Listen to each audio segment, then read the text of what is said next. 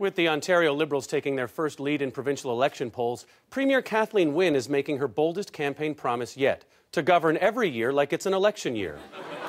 Wynne noted that her party does its best and indeed only work when faced with the threat of losing power, like lowering hydro costs and replacing the pee stink on the TTC with a less objectionable pee stink. Economists say if Wynne actually does call an election every year, it would cost taxpayers roughly a billion dollars a decade, making it the most financially prudent proposal of her administration. The Beaverton. All new episode Wednesday on Comedy.